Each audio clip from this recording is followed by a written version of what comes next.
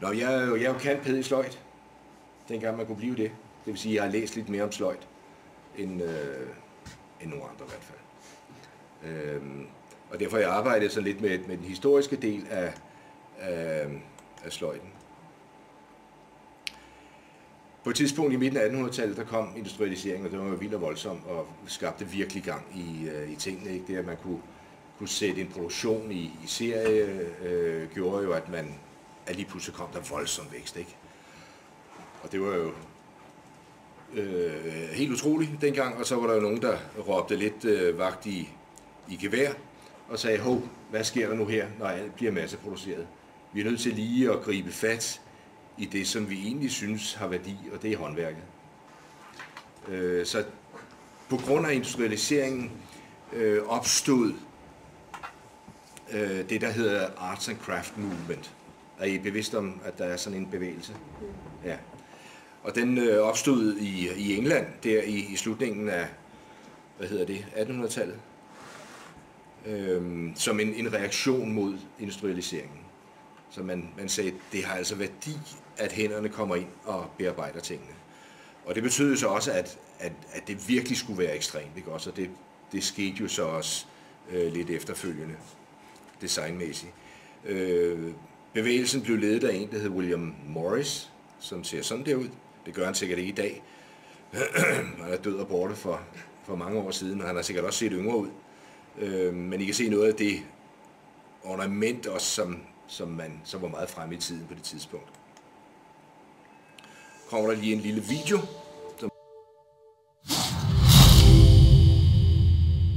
Arts and Crafts isn't just about glitter, glue and garish bobble hats.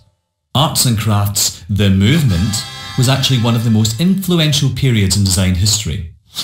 About 150 years ago, people had become totally fed up with machines. Not that kind of machine. This kind. The steam age had brought mechanization to industry, agriculture and transportation, which changed everything. People had gone nuts for technology. Manufacturers could now make loads of stuff for loads of people without really thinking too much about the final product.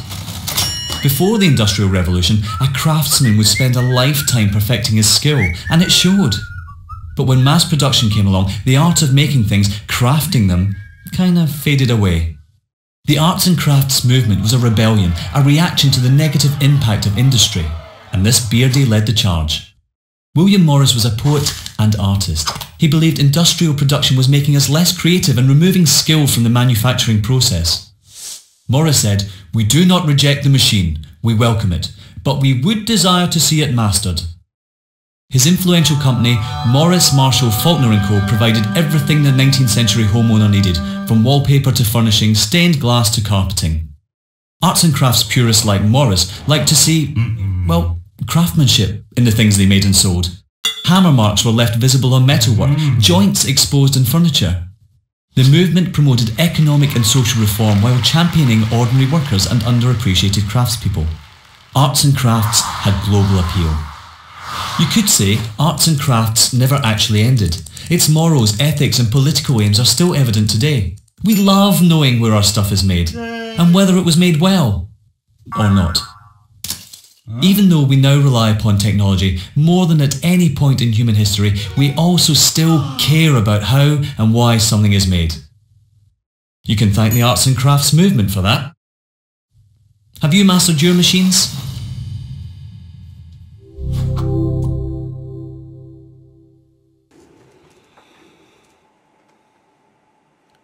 Kan I se nogle paralleller til det, vi snakkede om sidste gang med The, uh, the Maker Movement? En bevægelse, som på en eller anden måde reagerer lidt mod det manglende håndværk og det manglende kendskab til, hvordan ting virker og, og sådan noget. Uh, så det, det, er ligesom en, det er ligesom en gentagelse af, af, af The Arts and Craft Movement. Den opstod jo som sagt i, i England, og, og designet blev ligesom lidt mere ekstremt, hvor man virkelig kunne se, at, at her har altså været hænder på. At det ikke var bare noget, man kunne lave med maskiner. Og øh, det ledte så over til det, der hedder Jugendstil og Art Nouveau. Det kender I sikkert godt. Og i Danmark hed det Skøn Virke. Øh, den der Carlsberg-etikette er en, en del af, af skøn virkeperioderne. Hvis I kommer ind på Københavns Rådhus, så er det også lavet i skøn virkestil. Øh, og gennemført hele vejen igennem. Fantastisk flot øh, interiør. Der er også huse i Gentofte og andre steder, som, som er lavet i den stil. og hvis I kommer, nu ved jeg ikke om det er der, hvis I kommer til Paris, øh, så er det også en, øh, en del af den der bevægelse, hvor man virkelig kan se øh, håndværker. og det, det organiske er, er tydeligt fremme. Og her er også et eksempel på en stol, som er, er lavet i, i den stil. Øh, I Danmark var der en, der hed NC Rom, som også blev grebet af den her nye bevægelse. Øh, og han skabte det, der hedder Dansk Husflid, eller hed Dansk Husflid, fordi at de lige gået på kurs. Mm. Øhm, øh, og det er jo ikke så godt. Men, øh, men ud fra de tanker fra, fra The Arts and Craft Movement, så, så skabte han Dansk Husflid, og i Sverige kom Hemsløjten øh, også i den periode. Kan man ikke sige, at vores nye fag, håndværk og design, i vid udstrækning er det samme som husflid? Nej, det tror jeg ikke. Altså mange af de ting, som de, de laver, det er vel også, altså hvor de, de sidder derhjemme og laver om aftenen og sådan noget. Altså, er det ikke nogle af de ting, som, det, det var sådan lidt? Jo, det, det der var kernen i, i husflidsbevægelsen var, at håndværket skulle tilbage, at vi skulle have håndværket tilbage til, til, til folk hjemme i de små hjem. Så de sad og... blandet både slot og håndarbejde. Ja, ja, man kan sige, de sysler der, ja. De, det er det, der kom, de produkter, der kom. Ja, men dengang var det jo ikke en blanding. Der var det kvinderne, der lavede ja. øh, tekstilsiden, og, og mændene lavede det andet. Øh, det handlede meget om at, at producere nogle ting til salg, og det er jo så det, der stadigvæk er tydeligt i hemsløjsbevægelsen i Sverige. Øh, at, at det er produktion til salg til videre salg. Det er ligesom forsvundet lidt her, og der er det mest sådan nogle øh, hæklede juledukker, ikke, der kommer på julemarkedet og sådan noget. Jeg ved ikke, om der er nogen af jer, der er med i nogle huslydsforeninger, men de eksisterer jo stadigvæk. De blomstrer i Sverige. De blomstrer i Sverige. Overalt. Og de, for, de formår at forny sig i Sverige, ikke også? Ham her indser Rom, han lavede en, en bog, som hedder Håndgærningsbogen, og jeg har en kopi af den her. Det er, så vidt jeg ved, Danmarks mest solgte bog. Den kom i, i 15. Se om der kommer en øh, 15 udgave fra, ja, fra 1875 til 1935. Så det har været en, en voldsomt populær bog, og øh, også en bog, som man gav i konfirmationsgave og, og sådan noget. Ikke? Så det, det, har, det har virkelig været her, dreng, så har du, så kan du ikke også. Men øh, igen, som vi snakkede om tidligere, så er det jo meget tekstbaseret og teksttungt, og det vil sige, det er svært helt at gå ind og, og så lære herfra. Men den er, den er god at få fat i, og den ligger i øvrigt også øh, på nettet, tilgængelig på nettet. Jeg har scannet den ind på et tidspunkt, fordi jeg var lidt involveret i Dansk Husledsselskab. Og øh, der scannede den ind, for rettighederne er forsvundet. Øh, og så låner det muligt, den, at der eksisterer en hjemmeside stadigvæk, øh, hvor, den, hvor den er tilgængelig. Ellers så kan man finde den i antikvariater. Og her er lige nogle, nogle sider fra, fra bogen. Men der er ikke, der er ikke rigtig tekstilsider. Det er, det er, det er den maskuline side, som er, der er noget lederarbejde og noget grenarbejde og ja. I Sverige opstod jo også den her hemsløjsbevægelse, men der var så en mand, der hedder Otto Salomon, som sagde, at det her kan bruges i pædagogisk øje med. Øh, det er jo et, et godt dannelseselement at arbejde med håndværket, så det var hans indgang. Det var ikke produktion til, til, øh, til videresalg, men, men som øh, et, et pædagogisk dannelsesfag øh, ville være rigtig godt. Så han, han fik øh, taget det, han havde en rig onkel, som, som hjalp ham med at etablere et, øh, et sløjt seminarium i 1875, og øh, det ligger ved Jødeborg på noget, der hedder Næs, og det eksisterer stadigvæk. Øh, herover er, er slottet, hvor onkelen boede, og han havde så penge til, at, at nevøen der kunne bygge øh, sløjskolen her ved, øh, ved siden af. Og den ligger så der, og den ser sådan her ud, og I kan også se, at den har den her skøn virke øh, stil. Et fantastisk spændende sted at komme med, øh, med ånd og, og så videre. Og det, det fungerer stadigvæk som en, en, et kursussted øh, for, øh, for sløjt og håndarbejde også. Hans tanke var ikke, at det skulle være et skolefag, men han havde stadigvæk fat i, i husvidsbevægelsen, ikke? det vil sige, at det skulle være unge mennesker, som efter skoletid kom og, og blev dannet i, i det her håndværksfag. Og her er et billede fra interiøret. Og I kan se, der er damer ved, så det var både mænd og kvinder. Det var ikke, det var ikke kun mænd, der skulle komme og, og lære det her nye fag. Øh, han lavede en bog, som jeg så har mistet, men han lavede så også en, en modelsamling, som jeg stadigvæk har. Den er her. Øh, så han lavede et system, og det kommer jeg så lige lidt nærmere ind på, øh, hvor han havde en række modeller, som man ligesom skulle arbejde sig igennem, øh, for at, at ligesom lære alting. Så der var en progression i, i de øvelser, man skulle lave. Øvelserne var inddelt i, øh, i, i en, en form for nummerorden. Det her nummer 23 er en melske, og der er målene så. Så når man ligesom har lavet 22 andre modeller, så når man til nummer 23, og så laver man den, og så kan man så gå til 24. Og på den led kunne man jo komme på et kursus, som I er nu, og hvis det nu var efter samme system, så kunne I måske være nået til nummer 14, ikke også? Og så kunne I komme tilbage efter sommerferien, og så starte fra nummer 14, og sådan ville det køre videre, ikke også? Øh, så på den led var tingene jo meget enkle dengang, ikke? Øh, hans indgang var meget organiske ting. Det her er blandt andet en øvelse, et hammerskaft, som er en af de første øvelser. Jeg ved ikke, om der står, hvad det her er for en en øh, det er fra Nør,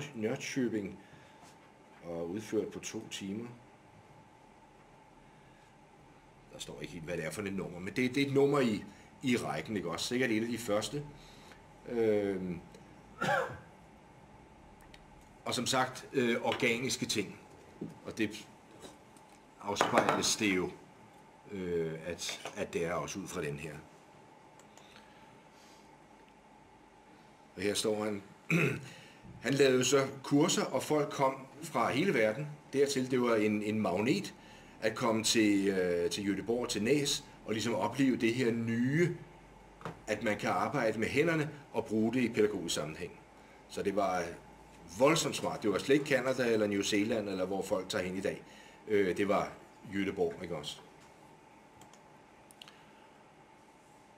Ja, her har vi et, et billede af, af den bog, som jeg så har mistet, men der er øh, den første øvelse, det er så lang snitning, og øh, anden øvelse, det er så tværsnitning, hvor man snitter, snitter på tværs af fibrene. Og øh, skråsnitning øh, og fassnit, det er næste, det må være næsten det samme. Men der er altså en, og det er kniven, det er kniven, som er det primære værktøj. Det er kniven, som, som ligesom er grundværktøjet, ikke også? Det er det, vi starter med. Og her er sådan en, en tavle lignende den, som jeg har her. Jeg tror også, jeg har nogle flere her. Hvordan skal du stå? Ja, fordi det handlede også om at stå rigtigt, at, at have kroppen med, ikke også? Så det sådan set også var en form for, for idrætsfag, ikke? hvor det var vigtigt, at man, at man stod øh, korrekt, når man, når man arbejdede. Øh, så, så, så det var også en del af det. De der tavler hang så rundt omkring i øh, lokalerne. Og her har vi så en beskrivelse af kniven fra den her bog, som han har lavet.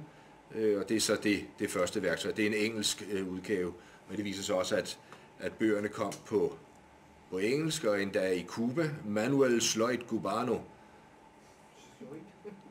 Ja. Og det er så et, jeg ved ikke, det, det er lidt dårligt billede, det der. Og øh, her er så også en beskrivelse af de der øh, øvelser i, i nummerorden. Først et, et penselskaft, brush handle, og så et penneskaft og et, en parketpind og så videre. Ikke? Så, så, så øvelserne steg ligesom i grader. Ikke? Og en smørspade, det er måske sådan en, som jeg har der. Og der har vi så en, en melske, og den er tæt på den, som jeg har her. Det er bare en anden tegning. Og her er en skammel. Den er hentet fra den bog her. Og se, der står så nummer 24b, en palle. I Sverige, der kalder de en skammel for en palle. Så det er altså nummer 24, så det er langt hen. Det er først om halvandet år, ikke også, at de når dertil. Det tiltrak selvfølgelig også nogle danskere, og der er en, der hedder Søren øh, Melgaard, som tog op på, på kursus, og han var der i fem uger. Han behøvede kun fem uger, så kunne han det hele. Han tog tilbage til Danmark og sagde, det her, det er guld værd, det skal vi lige, det er, det er lige en bølge, den skal vi lige gribe. Så han etablerede sig i Esbjerg, øh, og startede en sløjskole der. Øhm, og lavede det, der hedder Asgaard Skolesløjt. Ja, der er sløjtlærer, I er godt klar over, at der ligesom er to retninger. Jeg ved ikke, om I er bevidste om det, men, men det har der været. Har de været? Hvorfor? Rivaliserende. Rivaliserende, voldsomt rivaliserende. Øh, og han var altså den, der startede øh, Asgaard Skolesløjt. Han døde ret tidligt, tror jeg, tuberkulose, så han var ikke den, der ligesom... Han fik lige startet det, og så var der nogle andre, der overtog det. Øh, I København har jeg øvrigt også jyde ham her, han hedder Axel Mikkelsen. Han kom til første Næstved i øvrigt, hvor han øh, etablerede en teknisk skole. Og så røg han også på kursus i, i Næs det samme år som, øh, som øh, den anden. Mel, Melgaard, ja. Øh, og han synes også, at han havde fundet øh, de gyldne sten, og det var der så desværre også en anden, der havde gjort. Ikke? Øh, så han, han kom tilbage til København, og han havde kontakter i politiske kredse, blandt andet en, der hedder Herman Trier, øh, som var, jeg ved ikke om han var, eller blev det formand for Folketinget. Så han, han havde en voldsom politisk indflydelse, og det hjalp i høj grad Axel Mikkelsen med at, at få arbejdet videre med sine ting. Og det Axel Mikkelsen tænkte, det var, at det her, det ville være super at få indført som et, øh, et skolefag i skolen. Og det var altså ikke den tanke, som Otto Salomon havde gjort. Men, øh, men den gjorde Axel Mikkelsen. Og han lavede en, han etablerede Dansk Sløjtlærerskole, som lå inde i Værndomsvej. Og da jeg blev ansat derinde, der var det stadigvæk inde på Værndomsvej. Øh, og hvis man går forbi derinde, så står der en, så er bygningen der stadigvæk, jeg tror det er en skole, nu er en fransk skole. Og der er stadigvæk en granitblok, hvor der står sløjt. Sløjtlærerskolen. Der er en, der ved noget. Ja, det ved jeg ikke. Øh, ja, men den flyttede så ud til Emdrup på et tidspunkt i, var det 96 eller sådan noget, 95, 96, hvor jeg også var med i den der udflytning. Men det var spændende at være i den bygning, hvor historien var der, og hvor, hvor ånden var der. Øhm, ja, han var så på leder af, af Dansk Sløjtlærerskole fra, fra 1886 til 1909. Så ragede han uklar med nogle folk og blev øh, sådan set smidt ud. Øh, så han overgav det til, til nogle andre. Øh, han var en temperamentsfuld herre. Han var i øvrigt far til, hvad hedder han, den anden Mikkelsen, øh, som var grønlandsfar. Ejner Mikkelsen. Farlig tomandsfærd. Kan I huske den historie, hvor han sammen med en, en der hedder Iversen, rejste, eller strandede, og så rejste de øh, ned langs østkysten og blev så reddet, og, og de var uvenner og så videre. Og han etablerede så dansk skolesløjt, og det, og det er så det, der bliver, der bliver rigtig øh, defineret. Øh, men han trak jo nogle af de samme ting med sig, som han havde set op hos Otto Salomon, så han øh, arbejdede med arbejdsstillinger, øh, og her var jo sådan, som man ikke skal gøre, ikke også, men man skulle stå på den her måde, og det var nogle dejlige fine drenge i, i fin uniform og, og sunde, korte shorts, ikke også, eller Og den, der har den dårlige arbejdsstilling, Så er er er. Ja, ja, han er jo slasket, ikke? Ja, ja, det noget. Og I kan se nogle øvelser ved bænken, ikke også, så man ligesom varmer op. Armbøjning, 1 og 2, ja. Næsten ligesom tøjsvømning. Og inde i nogle, dengang sløjtskolen stadigvæk eksisterede, der var nogle hemmelige gemakker, hvor der var en række billeder af børn uden tøj på, som også stod foran bænkene. Og de, de på en eller anden måde... Øh, så han har været helt ude i noget, hvor det måske ikke helt var så godt. Jeg skal ikke egentlig insinuere noget. Det kan godt være, det var sådan i... i øh, Det er sat med faglig integration. Så, dreng, nu smider vi toppen. Ja, og her har vi så en kropssænkning, ikke også? Så det hele, det hele hang sammen. Og Axel Mikkelsen var jo, øh, havde jo set håndværkere, som jo så ud som, som krabber, øh, fordi de arbejdede med højre hånd, så han ville gerne have, at man skulle arbejde med venstre hånd også. Og øh, det går, for det så hvis der er nogen, der kan huske det nye logo fra Sløjtlægerskolen, der var en bil, som kørte rundt med Sløjtskolens logo, og det havde, der havde jeg trukket en lille bid ud af det der logo, så det ligesom blev fornyet. Fordi min leder sagde, at vi skal have noget ligesom Irma, som, som tager Irma-pigen og forstørrer op. Ikke? Så tog vi den der forstørret op, så blev det det nye logo. Men der kan I se de, de rigtige stillinger, øh, som står lidt væk fra bænken og, og saver pænt og nydeligt. Men det er jo dejligt med et system, ikke? Øh, det system, som, som øh, hvad hedder det, Otto Salomon havde, var meget organisk. Øh, Axel Mikkelsen sagde, den der, det med kniven, det er altså ikke, det er ikke godt. Man kan jo skære sig på den og sådan noget, så det dur ikke rigtigt. Vi, øh, saven er meget smukkere, ikke? Rammesaven. Skal jeg lige hente en, så I kan se den.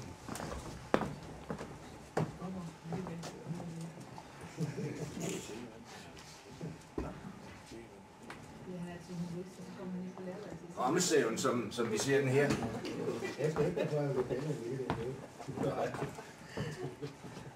rammesaven, som er her, som i øvrigt er, også er konstrueret af Mikkelsen, øh, anså han for at være det primære værktøj. Og en skøn ting, ikke også? Dejligt at holde i hånden. Og, oh, jeg ved ikke, om, hvor mange af jer, der ikke har prøvet at arbejde med den, som synes, at den er god. Men det er den, siger vi, som har prøvet den. Ja, Altså, det der billede, der var øh, oppe fra den øh, svenske øh, sløjtskole, der, så, at der var mænd og damer. Der hang også en rammesæv op på væggen. Ja. Ja, ja. Jeg har selvfølgelig brugt øh, Axel, hvad hedder det, og Socialum også rammesaven. Jeg kommer lige tilbage til det lidt senere. Øh, fordi så Axel Mikkelsens system, han lavede en sløjtbog også, som, øh, som ligger her. Lærebog i dansk skolesløjt, øh, træsløjtsystemet. Værsgo. En af de første didaktikbøger, som nogensinde er udkommet, øh, som beskriver, øh, hvordan man indretter et sløjtlokale, et værkstedslokale, øh, hvordan man arbejder med øh, hvad hedder det, øh, de enkelte værktøjer, og så er der også en, en række øvelser øh, i, i en progressiv eller øh, orden. Og den første øvelse var sikkert bare, at man skulle save. Jeg se, det her, det er, nej, det er, det er den her, øh, som er lang savning, og det var det første, man skulle gøre. Man skulle lave en nytteløs øvelse først. Den er her. Og den hed Elefantkammen, øh, hvor man skulle spænde op i høvlbænken, og så save rette streger ned. Og så vende den om og lave stregerne lidt tættere på. Ja. Så når man lavede den øvelse, så var man klar. Eller systemet bygger op på den måde, at, at der var en forøvelse. Så når man havde lavet den øvelse, så kunne læreren gå ind i en, i en modelsamling, og den er der måske nogle af jer, der har i, øh, i værkstedslokalerne stadigvæk, som er fyldt med, med modeller. Hver model har et, et nummer, og vi så kigger, så kigger her på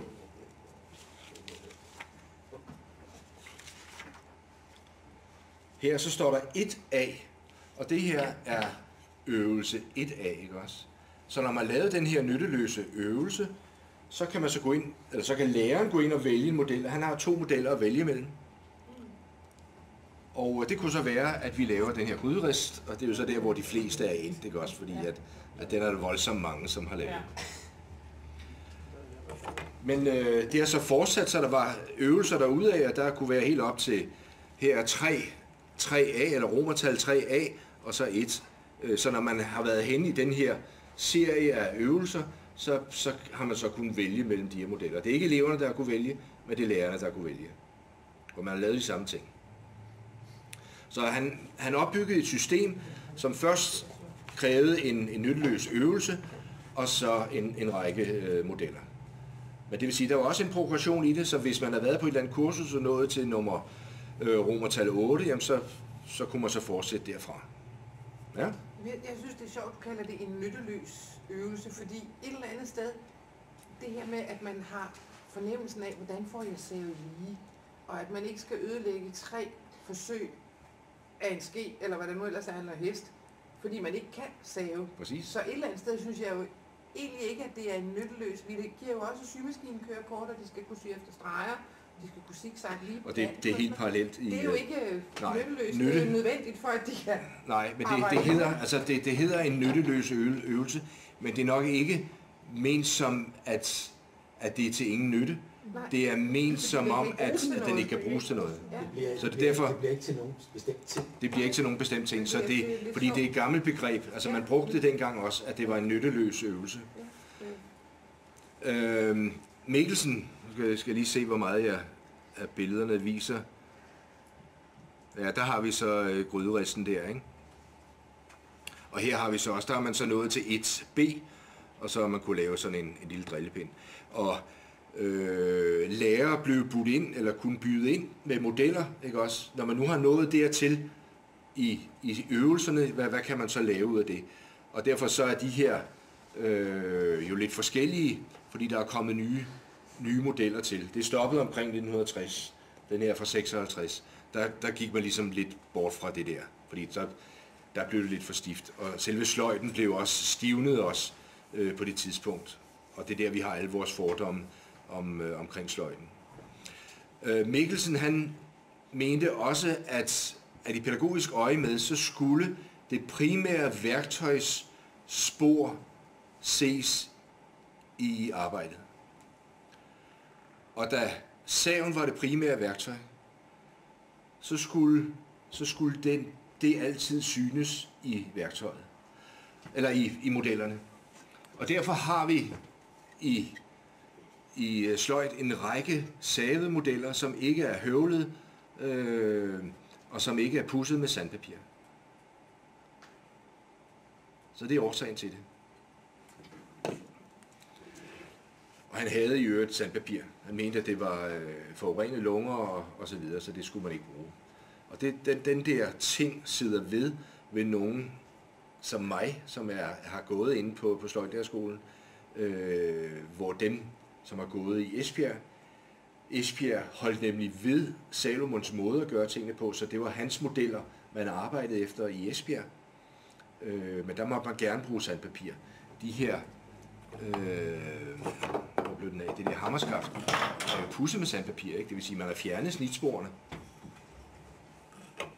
Det er jo fuldstændig parallelt til vores dage, men nu har vi jo fået rundt den skiver rundt omkring på skolerne, men man ikke har fået. Det er lige så snart, hvis, hvis eleverne de skal tage en halv centimeter af den her klods. Dem, der kan save, de vil jo save det af. Ja. Dem, der ikke kan det, de går hen til rundelsiveren og maser den ind og får skabt forurening og lungekræft til resten af forsamlingen. Ikke? Præcis. Ja. Og det tænkte han over, ham Axel Mikkelsen. Han var en, en gammel øh, gnavpot, men øh, han havde også nogle, nogle rimelige tanker. Øh, her er så en, en øvelse. Spiring betyder at banke et søm i. Hvordan banker man et søm i? Øh, og det er jo væsentligt at kunne. Og det står så beskrevet her. Øh, og det er jo så gjort med, øh, med tekst, hvor man måske i dag ville lave en lille video, som beskrev det. Mikkelsen gjorde sig nogle, nogle grundige overvejelser for, hvis man vil arbejde øh, praktisk med, med hænderne, hvad for et håndværk ville så være, være godt at, at øh, arbejde med.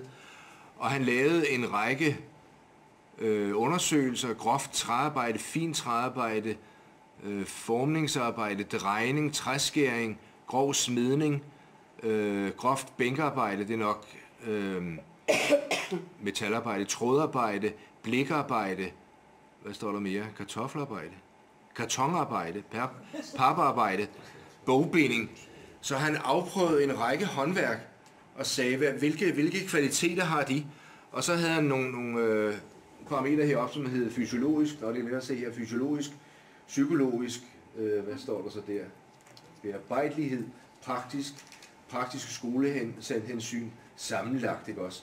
Så han fik en, han lavede selv en, en, en, øh, en række vurderingsmekanismer til at vurdere, hvad for et et håndværk ville være det bedste at arbejde med. Og der endte han så med, selvom han var gammel smed selv, der endte han så med, øh, øh, med træ. Og derfor blev det sløjt. Det kan godt være, at han gerne ville derhen først, og så fandt han så argumentationen, argumentationen den her vej. Så han var grundig i sine overvejelser, ikke også? Og det er så også det, der gjorde, at, at, øh, at faget kunne indføres. Og der har vi jo så den her bog, som også er kommet i, i mange udgaver. Her har jeg en af de allerførste, og den er fra, ja, den er fra 1919. Men den er i øvrigt, det er i øvrigt fra udgivet af Krigsministeriet til brug ved militære sløjt og husledsundervisning. Ja, ja, den her er jo kommet efter han blev øh, gelintet ud fra sløjtlærerskolen. Der, der etablerede han sig så på den her måde. Lavede noget nede i Korsør, et, et kurscenter dernede, øh, hvor han brugte øh, sløjten som, som, øh, som kurssted, ikke? at man kom der og, og fik lov til at arbejde øh, for at, at blive renset lidt og slippe for stress, hvis man havde noget, der hed det dengang. Det eksisterer. Nej.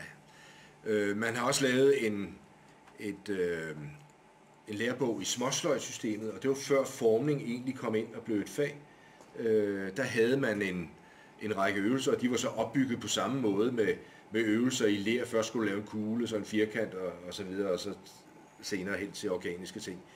Øh, så, så der havde man ligesom sagt, vi har det her geniale system, det overfører vi til, til, øh, til andre håndværk også. Øhm, nu er der lidt forskel på, det her er en, en gammel snekerbænk, jeg ved ikke om I kender sådan en, øh, men den er jo sådan lidt, lidt anderledes end den øh, sløjtbænk, som, som vi kender fra sløjtlokaler. Det her hedder øh, bagtangen, det der hedder fortangen, fordi det er tanken, at man står midt på, og så bliver det her altså til en bagtang, og det der bliver til en fortang. Her er der ikke en gennemgående bagtang, den er, er ligesom brudt op. Det vil sige, det er svært at lægge et stykke træ her, som vi jo er vant til, øh, også at arbejde ved, ved almindelige høvlbænke. Der kan man lægge træet i bagtangen, og så save det over. Men det kan man altså ikke i en snikkerbænk. Der lægger man brættet oven på bænken, og så afkorter. Øh, I Sverige brugte man snikkerbænkene. Der var de placeret i, i lokalerne. Men de er jo voldsomt store. Og I ser, her står en, en dreng og saver. Øh, og det er så en dansk fløjtekælder. Der kommer nogle andre billeder. Skal vi se, hvor vi... Ja, det her er i Sverige. Jeg kan se forskellen. Her står de ved, ved store snekerbænke, og hver bænk står individuelt.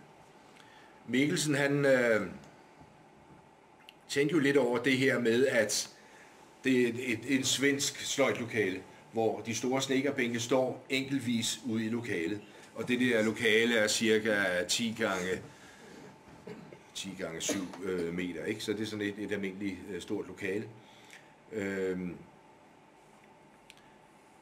Og Mikkelsen, han, han skulle så argumentere for at, at få indført det her som fag i skolen. Og en af de ting, der skulle til, var, at man kunne være mange børn i lokalet samtidig, øh, og det skulle være relativt billigt at, at etablere. Øh, så derfor så brød han med den tanke, og lavede i stedet for, ja her er der, i det her svenske lokale er der plads til 16 bænke, og så kommer her et dansk lokale, det er jo taget inde på Værndomsvej, det der. Øhm,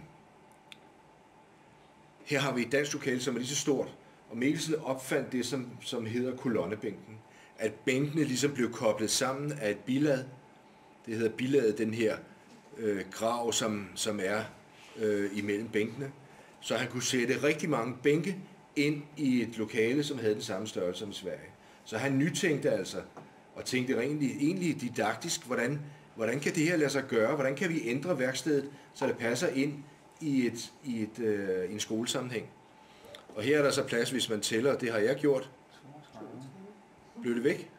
32. Der står det. 32 bænke.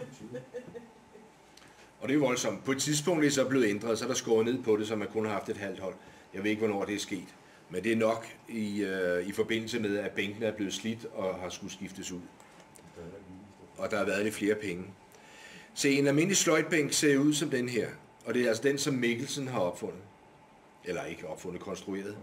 Og den har en, her har vi fortangen, og den ligner, øh, og her har vi bagtangen, og den er, er gennemgående, det vil sige, at den er åben her bagtil. Og det er jo dødsmart, fordi så kan man spænde træ op der og så save. Men grunden til, at, den er, at han konstruerede den, det er fordi, han gerne ville have, at man skulle arbejde vekselsidigt. Og det kunne man kun gøre ved, at bagtangen var, var gennemgående. Så når man starter med at save, og det gør man i højre side af bænken, når man så skal save igennem, så flytter man over til, til øh, eller starter i venstre side, og så flytter over i, i højre side, så man kan save igennem. Øh, når man så havde savet med højre hånd, så skulle man save med venstre hånd, og så havde man brug for at sende, spænde op modsat. Og det er altså grunden til, at der er en gennemgående bagtang.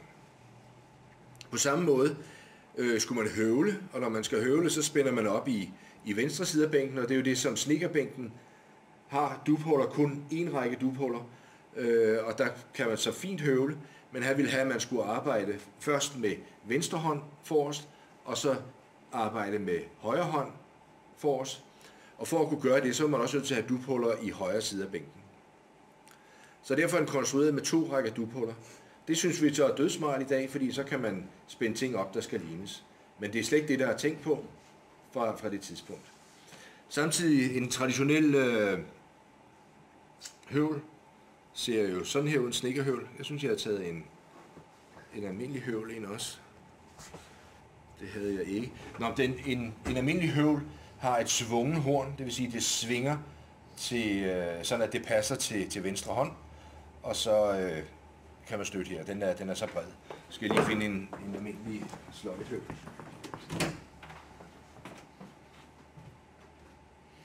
skægt i det svenske lokale, så husker jeg, at man havde tænkt en venstre hånd i, når man ikke vendte den anden vej. Ikke?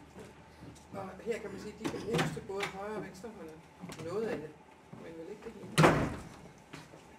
Og han konstruerede så den her, som er, er sløjthøvlen. Og for at man kunne arbejde vekselsidigt, så var han nødt til at konstruere hornet lige. Og det er grunden til, at det er ret op. Det er ikke fordi, han har haft en særlig forkærlighed for venstrehåndet, eller synes, det var synd for den, eller noget som helst. Det er fordi, man skulle arbejde vekselsidigt. Og det vi så kunne bruge i dag, hvor man hvor venstrehåndet jo så kan bruge den. Uh, han formindskede høvlen i forhold til en, en, uh, en slikkerhøvl. Han lavede en mellemting mellem en... Ah, jeg render lige igen.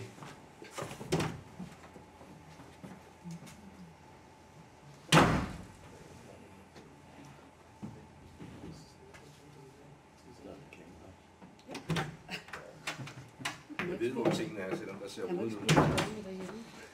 Øh, en snekerhøvel er jo bred, har et bredt skær. Skæret er, er lige.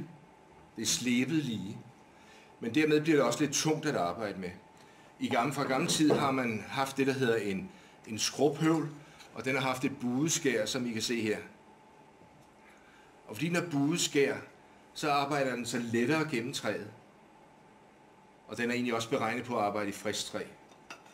Øh, Så han lavede en mellemting mellem pushøvlen og så skrubhøvlen, og den kaldte han en slethøvl. Og hvis det skal være rigtigt, eller for det første er, er bladet smallere, og så skal det være slebet i en let bue, og dermed bliver det lettere for børn at høvle. Det er der ingen, der ved i dag. Så derfor sliber alle høvlene lige, de knækker måske lige lidt hjørner. Øhm, men ellers er der, det, det, jeg er ikke stødt på det, øh, nogen som sliber høvlen rigtigt. Men hvis man gjorde det, så ville det være til med børn at, at bruge høvlen. Det kan også være en af årsagerne til, at i de små klasser, der er det faktisk en disciplin, som man vil ikke udsætte dem for. Det er altså også med, der er også med, med indstillinger. Og den skal Ja, det, det er kompliceret. Fordi de skal være lidt sådan mere på valghold, hvis de skal have lidt glæde af høvlen. Absolut. Og det er også nyttesløst at stå og hele oprette et stykke træ, så, så det er vi jo kommet langt væk fra. Men Mikkelsen konstruerede værktøj, som var, var specielt egnet til børn, og det blev et stridspunkt med Otto Salomon, fordi de var jo selvfølgelig parallelle og konkurrenter og, og sådan noget, så, så det var et, et voldsomt stridspunkt. Øh, Otto Salomon han mente, at børn skulle arbejde ved, øh, de, skulle, de skulle bruge det værktøj, som voksne havde, Der er jo ikke nogen grund til, at de arbejdede med formindsket værktøj, øh, fordi at de skulle senere bruge det rigtige, og så kunne de lige så godt starte med det. Men øh, Mikkelsen, han, han havde altså sådan en, en tanke for børnene, trods alt. Øh, langhøvlen øh, blev også, eller det der hedder en rubang, rubang er så stor her, blev så også formindsket, sådan at, at børn kunne bruge den. Og tilsvarende med, med rammesaven, det her er en lærersav, så den er lidt længere end, øh, end børnesaven, som også var lavet for mennesket. Jeg kører lidt videre i det her. Der kommer der så et billede. Det, det er jo så den traditionelle øh, høvlbænk. Der har vi begyndt at sætte den i grupper, øh, også for at få færre bænke og måske noget arbejdsplads og noget mulighed for, for at arbejde fælles. Men der er altså sket en, en forandring. Men det lukker så, så man ikke helt kan øh, gøre så meget. Den ene er venstrevendt, og den anden er højrevendt af de øh, to øer, vi har der. Og her er et, et traditionelt sløjtlokale eller værkstedslokale, som I sikkert kender det. Øh, og mange steder er kolonnebænkene der stadigvæk. Men nu har jeg historien, hvorfor at, at man i virkeligheden har kolonnebænke. Øh, hvis nogen af jer har været i, i Jylland og været inde og se sløjtlokaler der, så har de øh, Stanley-høvle stående. Og det er jo fordi, det er Mikkelsen, der har konstrueret de her træhøvle. Så sådan rent, øh, altså fra den gamle strid, så, øh, så bevarer man Stanley-høvlene, eller det, dem indkøbte man på et tidspunkt, fordi man ikke ville have de her fra, fra Sløjtskolens værktøjshandel. Så i, Jylland, der står der Stanley-høvle, øh, og eleverne bruger Stanley-høvle. Hvordan er de så, for, er de nemmere, og nu har jeg ikke brugt det så meget? De, de er nemmere at indstille, men de er jo tunge, og, og det er jo metal ned i. Du, du skal bare... Små udgaver? Eller? Nej, det gør de ikke. Øh, så de... Ja, du skal bare lige støde ned i træet, så har du fået lavet et mærke i den, ikke? Men derfor er det igen en fordom, fordi jeg er ikke vokset op med, med dansk skolesløjt. Men, øh, men derovre, der synes de, at, at det er de høvle, man skal have. Han konstruerede også en, en hammer, speciel hammer, som ser sådan her ud. Det er muligt, at nogle af jer har sådan nogle i, i værkstederne. Øh, her er der så nogen, der har sat et søm i, og det er jo lidt synd, men det er den eneste, jeg har med, med det skaft. Det er en, øh, en gammel smedehammer, som han har formindsket, og fandt ud af, at den havde altså en rigtig god tyngde. Så det var hans, hans bud på en, en hammer. Så han har været helt nede i detaljerne, hvilket jeg synes er, er meget interessant. Her har vi så en traditionel øh, hammer, og den har ikke, den har ikke samme tyngde, øh, som den havde dengang.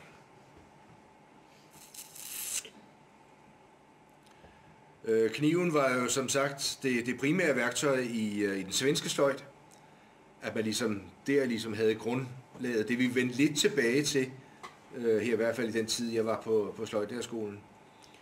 Øh, Men det er jo også fordi, der kommer alt det med frisk, frisk træ, ikke? Ja, fordi at vi, vi begyndte at arbejde i frisk træ. På et tidspunkt der, hvor sløjten stivnede i Danmark, og det gjorde den lige omkring øh, Første Verdenskrig, ikke, hvor der var en vis forkærlighed for, I kan også se på drenge i uniformer og nationalisme og, og sådan noget, ikke, der, der drev man ligesom med i den bølge der, og man skulle også taktsave, ikke også?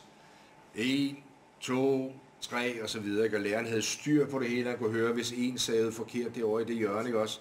Kom ud af takt. Øh, Så det var også en, en, et disciplineringsmiddel, ikke? og de skulle gå på række ind og stille sig foran bænkene og stå i første position og så videre. Ikke? Så, så det passede rigtig godt ind i, i øh, lige før krigen. Og det krakkelerede sig lidt efter krigen. Øhm, på et tidspunkt kom der en, øh, en sløjtinspektør i København, som hed Galatius, og han var også lærer på sløjtlærerskolen. Og han har så efterladt sådan en, en bog, som hedder Sløjtundervisning, som jo for mig sådan viser der, hvor, hvor sløjten egentlig stivnede, og måske en af årsagerne til, at, at, at, det, ikke, at det ikke helt har fået det, det bedste ry. Jeg har bogen her. Øhm, forordet, det er der ikke, men øh, det, det første, der står, er ordensregler, vi skal knage med orden herinde, ikke også? I en sløjtsal har hver ting en ganske bestemt plads. Værsgo. Det kan vi ikke helt leve op til her. Eleverne skal efter timens ophør sørge for en gennemført orden og renlighed. Det klarer vi heller ikke helt her. Det er et led i deres sløjtmæssige opdragelse. Men for at dette kan overholdes, må læreren organisere denne orden. Uh, det er ikke godt.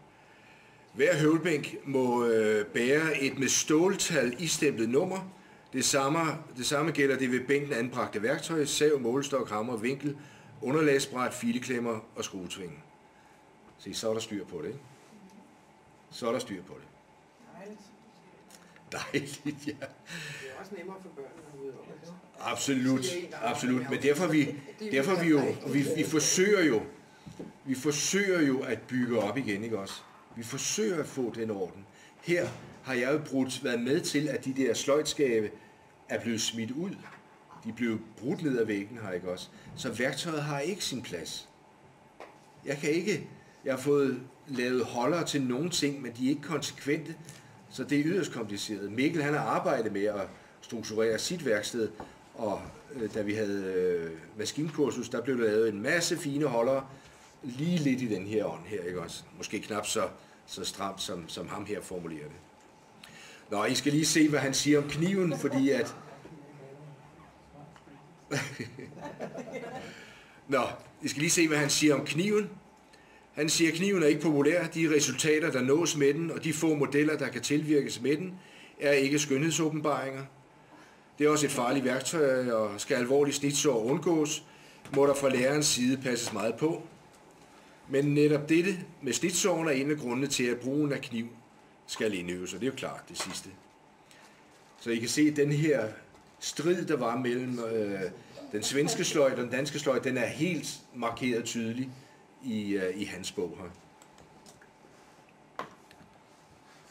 Så hvis jeg skal summere op og så se på forskellene i de to, den svenske sløjt og den danske sløjt, men jo som også er afspejlet i, i den københavnske sløjt og den, øh, den øh, esbjergske sløjt, næsløjten, så er i dansk skolesløjt saven det primære, kniven er det primære i Asger Næs, kolonnebænk, det er, at man kan sætte mange bænke ind i et lokale.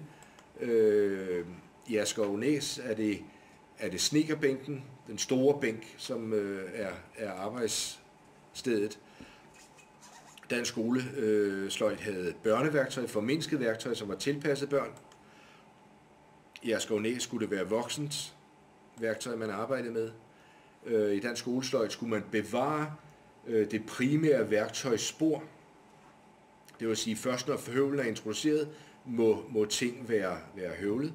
Øh, alle saveøvelser, det var først, det var virkelig der, man nåede til i, øh, i meget sløjtundervisning. Så derfor er de modeller, der eksisterer, det er så nogle, der står i det rå stadigvæk. Øh, I Asger Næs var sandpapiret okay. Dansk skoleslag, øh, skolesløjt øh, anså sløjt som et, et skolefag, og det lykkedes så der i, i 30'erne at få det indført som skolefag. Og det var i kraft af, at han kunne lave øh, kolonnebænke, at det er relativt billigt kunne lade sig gøre at få, få lavet øh, indrettet sløjtlokaler. Men det har været en kæmpe investering på det tidspunkt at få indført det over en masse skoler. Altså, det har virkelig været, man har virkelig følt, at det her, det var, det var fremtiden, ikke også? Og det vil vi gerne investere i. Måske er vi derhen igen, ikke? hvor man siger, måske skal der ske noget øh, for det fag her. Øh, Asger Næs var oprindeligt bare et frivilligt fag, øh, noget frivillig undervisning, men det blev så også senere, både i Sverige og i, øh, i Jylland, øh, et, et skolefag. Øh, I dansk skolesløj, og det var meget progressivt, at læreren i kataloget her kunne vælge mellem nogle forskellige modeller. I øh, Asger Næs var der en fast modelrække, det var det her, man skulle lave. Øhm, og i dansk skolesløjt var klasseundervisning, og det står beskrevet flere steder.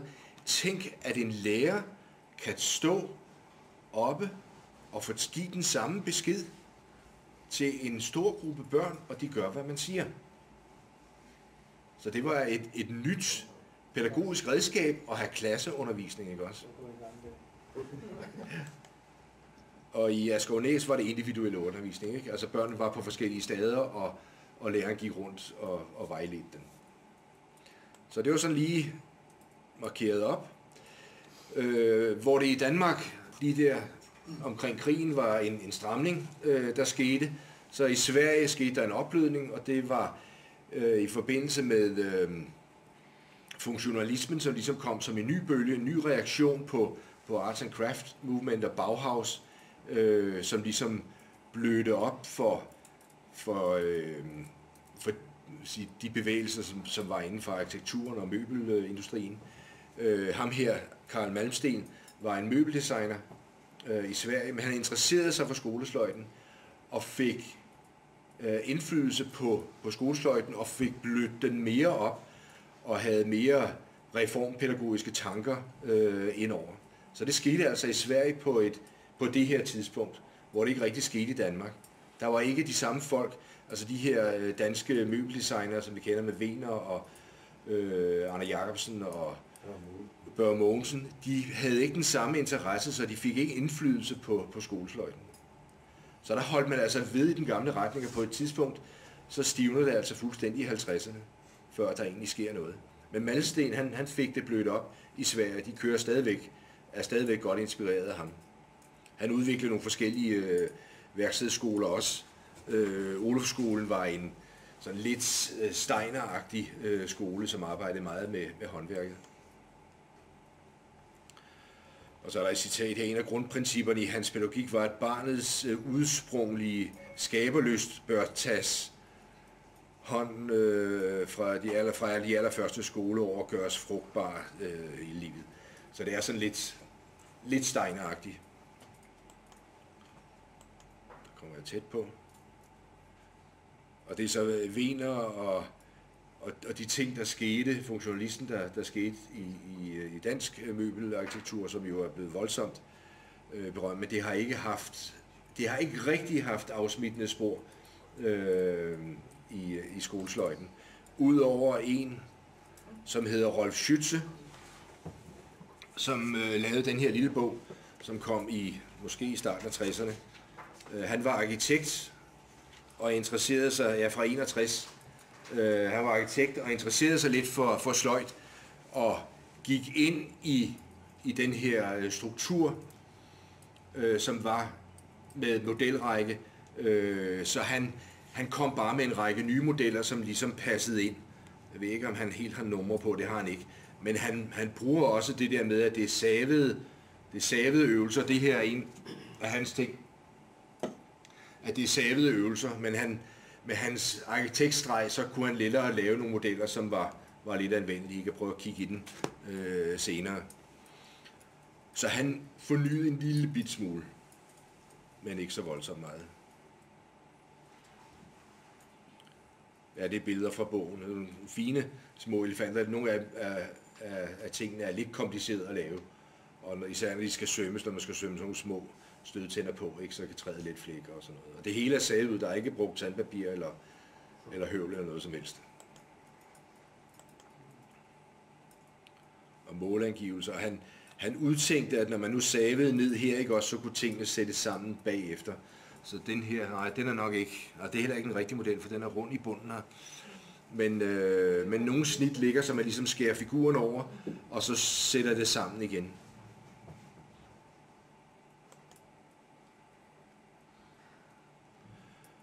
Så kom der et, en, en bog, jeg tror det var lidt inspireret af, af ting, der skete i England, hvor man øh, skulle have oplæg i stedet for at have modeller, så skulle man have oplæg. Jeg ved ikke, om der kommer en side her. Ja, der er et eksempel på, at vi skal lave huse, ikke også? Og så er der lidt beskrivelse af det, og så er der lidt skitseret øh, idéer til, hvordan man kunne gribe det an.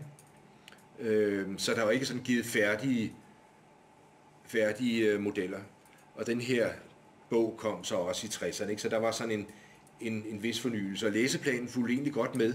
Øh, der er ikke så meget forskel på, på, øh, på det, som vi egentlig gør i dag, eller har gjort indtil nu her. Øh, så det der har hele tiden været mulighed for det. Måske der i virkeligheden sket en stramning øh, i, for, i forhold til det, der har været tidligere. I Sverige øh, har man også lavet sådan nogle idéoplægsblade. Øh, der findes en, en, en kæmpe serie fra, fra Linköping, som hedder Idébladet, og det her er vi op til på 250, jeg tror, der er, er endnu flere. Jeg tror ikke, de laver den mere, men jeg var heldig at få øh, et sæt på et tidspunkt. Her er det fuglehus, ikke også? Jeg kan se, der er ligesom angivet, der er nogle forskellige muligheder, der er ikke angivet, der er ikke sat mål på, øh, hvordan kan vi gøre. Så det er jo ligesom en, en, ny, en ny måde at arbejde på, og det er sådan set stadigvæk der, vi er. Ikke? Så det var så lige et indblik i, hvordan at, at sløjt ligesom har banet sig vej ind i, i skolen, og er endt, og nu hedder det jo så håndværk og design. Og man kunne fortælle den tilsvarende historie med håndarbejde. Øh, begge fag har hele vejen igennem været dannelsesfag. Det har ikke været for at, at øh, uddanne folk til håndværkere, eller uddanne folk til gøre det selv folk. Det har været, fordi at det har været vigtigt at, at bruge sine hænder, øh, og det har været for alle mennesker. Det har ikke kun været for den almene linje tidligere. Det har været for, for alle, at det har været vigtigt for alle. Og det, det lykkedes de jo sådan set med. Jeg vil godt så kaste en bombe, ind, måske en bombe ind i hele den her debat, fordi jamen, da jeg startede med at have sløjt i folkeskolen, der så sløjtlokalet ud som, som det, vi har set med de her rækker og så videre. Og øh, for 10 år siden kom jeg tilfældigvis tilbage på min, den skole, hvor jeg startede hele min, min skolegang op. Og der stod sløjtlokalet stadigvæk og så ud præcis, som da jeg forlod det. De redskaber, der var, det var sgu de samme. Det var rammesæven, og det var de der høvle og så videre. Og så øh, på et tidspunkt tænkte jeg, hvornår er det lige børnene går ud på fars værksted, med mindre han er sneker, eller hvad ved jeg. Og der hænger, hænger der en rammesæv derude? Nej, det gør der ikke. Hænger der en høvl? Nej, det gør der ikke, fordi hvad gør far? Han kører ned på tømmer, øh, trælasten, og så køber han det bræt, han skal bruge, og han køber det høvlet. Hvad køber han så til at korte af med? Han køber en, hvad hedder det, en fugtsvans i en eller anden afskygning. Mm-hmm. Øh, og hvis det skal være rigtig avanceret, så køber han sådan en gearingserie til 139 kroner, eller hvad det er. Så gik jeg hjem og kiggede på sløjtværkstedet, eller på sløjtlokalet. Så tog jeg samtlige rammesave og smed ud. Så har jeg taget samtlige høvl og smidt ud. Fordi hvornår er det, vi bund og grund bruger en høvl? Vi bruger den aldrig. Mm. Og så tænker jeg sådan et eller andet sted på, hvorfor i himlens navn skal vi lære elever at stå og høvle og høvle og høvle, fordi de går ned og køber det. Det gør jeg selv også. Jeg står sgu ikke derhjemme og høvler. Øh, Jeg køber det bræt, der nærmer sig det, jeg skal bruge, og så skærer jeg et eller andet af via en rundsav, kapsav eller hvad ved jeg. Mm. Så jeg har smidt alt det der ud. Mm. Og jeg kan jo godt sidde her og tænke, uha, er det kun mig? Jeg ved da, altså, er det noget, Men- faktisk i containeren, vel ikke? Det er røg i container. Øh, fordi, hvad, hvad skal jeg bruge det til? Hvorfor skal jeg have noget hængende i nogle skab, som du ligesom var inde på? Og sige, hvorfor skal vi have værktøj hængende? Er det et museum? Eller er det sådan et levende øh, sted, hvor der skal ske en masse ting? Så jeg har smidt hele pivetøjet ud. Øh, savner ungerne? Nej, det gør de ikke. Har de rigeligt at lave? Ja, det har de. Og det er sådan at gå, gå en lidt anden vej, altså øh, tankemæssigt. Men det har jeg gjort. Men er det ikke det, vi skal? Så har jeg sagt, hvad er det far har derhjemme? Han har en skruemaskine. Han har ja, fugtsvans, og han har de der ting. Mm. Jamen, så er det det, vi må tage udgangspunkt i. Og ikke i en eller anden verden, der var for 30 eller 50 år siden. Det er heller ikke, at mit oplæg her er ikke, det er ikke. ikke beregnet på, at, at vi Nej. enten skal tilbage. Ja, det er kun for at sige, det er meget rart at vide, hvad udgangspunktet er. Ikke også? Fordi bare Fordi sådan at, efterfølge af, nu sidder vi sådan rundt omkring. ja. Men derfor var det nemmere. Det var væsentligt nemmere dengang, ikke? Værsgo. Sådan, ikke også? Sådan. Øh, men det vi, det vi så sidste gang med, øh, med Makerspace og Tinkering Schools og sådan noget, det er jo lige præcis det der. Jeg har nogle maskiner, og øh, vi har en masse træ, og vi bruger bare, og, og, og vi gør ting, ikke? Så er der måske også forskel på, om man har overbygning og valgfag, og hvis der er noget, der stadigvæk eksisterer. Jeg, vil Altså, sige, mine, jeg, jeg bruger det er- heller ikke, men jeg vil sige, jeg vil ikke have smidt det ud. Jeg vil, men, Der er jo tusindvis af det stadigvæk. Altså. ja, ja, vi har også et lille rum, hvor vi er Ja. Men det er jo lidt sjovt i forhold til det, vi skal gøre lige i øjeblikket med at sidde og skrive, nedskrive læringsmål for hver time og hver uge nu, at vi så siger, at faget det skal være åbent. Altså, I skal eksperimentere. Det- det- Det vil da være nemmere med, med det der. Det Læringsmål, det er et af Ja. ja. den her, at du kan save, save føre en sav, Ja, eller drive et Ja, ja. ja. søm i. og det er jo... Øh, Så det, det går i to modsatte retninger. ja, det gør det nemlig. Men det kan også godt være det der med, altså, der, noget af det kan man jo sige, det er meget smart, at man lærer at save, inden man går i gang med at bare spasse fuldstændig ind på alle mulige brædder og klodser og hvad jeg ved, ikke? De får jo et eller andet produkt ud af det, som måske tilfredsstiller dem i højere grad selv. Så det ikke bliver ligesom, når man i billedkunst lige pludselig sidder og finder ud af, jeg kan ikke tegne. Altså, det ligner ikke det, jeg troede, det var. Og fuck, så gider jeg ikke. Altså, det er jo super fedt, at de kan blive ved med at, at synes, at faget er fedt at komme ned til at, at være en del af. Og jeg synes da også, ligesom du er inde på, det er også nødt til at se lidt på, hvordan er den virkelige verden udenfor.